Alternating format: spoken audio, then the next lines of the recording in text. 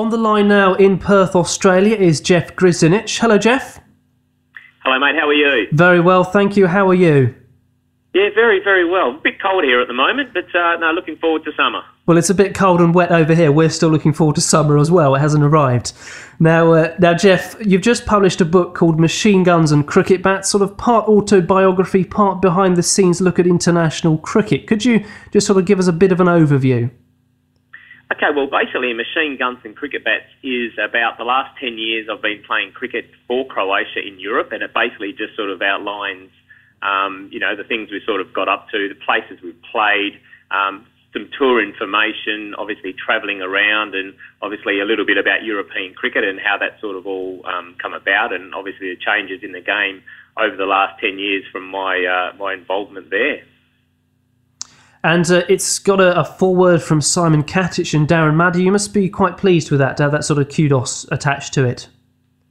Yeah, look, it's fantastic. Both of those guys have, um, have been friends of mine for, for quite a while, and obviously, Simon, the, the, the, great thing about having Simon on board as well, in particular, was um, he's of Croatian background as well. So, although uh, obviously he's played for Australia, and uh, you know has had a fantastic record both uh, obviously in, in Australia domestically, in England domestically, and obviously as a you know as a Test player. So he's been fantastic to sort of have him on board, and you know there's a little bit of that heritage sort of thing in there as well. You know he's he's got a Croatian heritage as well. So look, Simon was fantastic in, in his help, and of course Darren Maddy. Well, Darren's one of my best mates. He uh, basically played here at a club called Perth, which uh, I also uh, play at. And uh, yeah, look, he was here for probably two or three years, and over that time we became pretty good friends. And certainly wanted to get sort of Darren on board because look, what a fantastic player he's been mm. for for Leicester, and obviously now with Warwickshire, and you know he's, he's had a bit of international cricket behind him as well, and just a fantastic fellow. Really, really happy to actually have both of those guys on board. It's been it's it's fantastic. And uh, what was your real sort of motivation for sort of getting it all together and, and writing this book?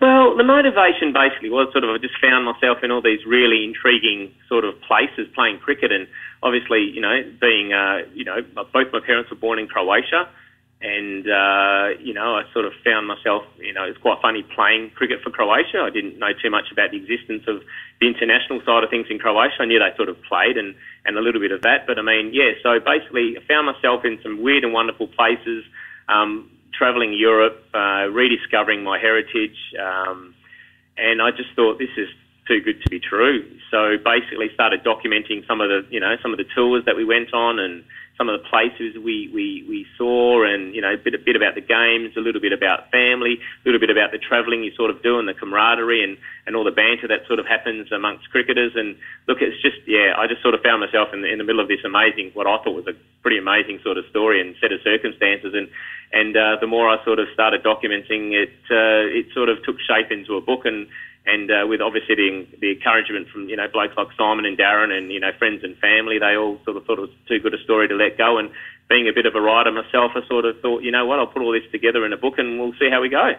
And it's a story that's sort of been in the making for, for quite a few years, hasn't it? Yeah, look, basically from the, from the, about a ten year period, I've been involved in international cricket with obviously in Europe for Croatia and and you know, obviously finding out about, you know, that they do play international cricket over there and, and, and actually how big it is and how, uh, how much the game is actually growing through the ICC in Europe, I just was staggered about, you know, the existence of the game to, to the level that it was. I mean, I wasn't quite sure what I was getting myself involved with at the start. And uh, it turned out to just be my, my first tour. We played in Vienna, and it was just what I mean, what an experience! It was just a great place to go and play cricket. Great bunch of guys I was involved with. I so obviously did my ICC sort of um, bits and pieces to sort of get qualified. Had to become a dual citizen, which wasn't a problem at all. And uh, then just basically did some some time in Croatia to sort of get the the, um, the days up to be able to play. And yeah, look, I just I just thought it was fantastic sort of to get involved in and just to sort of see the level that the cricket was developing in Europe. And look, I, I really love the game, and I just really sort of thought, well, you know, ten years in the making, and, and here we are today with a with a book all about those experiences. And uh, you're still playing for Croatia, I understand? Yeah, yeah. The next uh, tournament's actually in, in early September. We go to Corfu of all places, which is fantastic, particularly now it's very, very cold over here. And um, I just actually come back from a bit of a run, so I uh, looking forward to um, some nice warmth in in Europe, and obviously I'll go back to Croatia and spend some time there with the family and catch up with all the the, the guys over there. But yeah, the next tournament's in uh, Corfu, and uh, yeah, that's just going to be fantastic. Can't wait. And uh, do you think there will be any, any further books sort of documenting the rise and rise of Croatian cricket in, in the pipeline? Well, yeah, look, I, I'd like to think so, but I mean, this has just taken so much out of me writing mm. this book. It's basically sort of taken me the best part of three years to sort of put it all together into book form and take all, you know, the bits and pieces from the different, um, the travels and tour, tours and, and all of those sorts of things to sort of to put it together and you know, um, obviously not a paid cricketer, so I don't do that for a living, and I actually work on the side. So um, yeah, it's been a it's been a massive um, task to do, but look, it's it's been a labour of love because obviously, a I love writing and I love cricket, and you know, sort of combining the two's been fantastic. So look, I'd like to think that there's a another book in here, but I mean, there's so many things that I would have loved to have added in this book, but I mean, you know, I just the book would have just went on forever. so look, there's hopefully another one in the in the in the planning, but we'll see how this this one goes. And if it gets a bit of success and and people want more, then you know what, that's probably what I'll do. I'll probably write another book. Well, I, have certainly really in, enjoyed reading it, and I'd advise everybody to go out and get hold of it. Uh, how can we actually get get out there and get hold of a copy? Well, basically, the best way to sort of do it is you can pop onto um, Amazon and uh, you know plug the machine guns and cricket bats into there, or put in in my name, obviously Jeff Grzinic, or you can also go to Barnes and Noble. Um, and again, do the same sort of thing. And obviously, you could just plug my name into Google as well and see where that takes you. And hopefully, um, the Amazon and the Barnes and Noble, obviously, are two two places where you can uh, definitely get the book. And of course, if you want a want a signed copy, you can get onto Cricket World because we've got three copies to give away as well. Which is so we're very very uh, very appreciative of you giving us those, Jeff.